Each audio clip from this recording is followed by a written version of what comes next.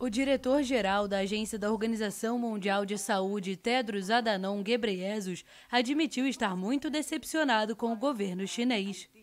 É que a equipe criada pela agência da ONU para investigar a origem da pandemia de Covid-19 na China viajou para o país asiático sem todas as autorizações necessárias de Pequim. Estive em contato com altos funcionários chineses e mais uma vez deixei claro que a missão é uma prioridade para a OMS e para a equipe internacional. Garantiram que a China está acelerando o procedimento interno para o deslocamento do grupo. Nós estamos ansiosos para iniciar a missão o mais rapidamente possível.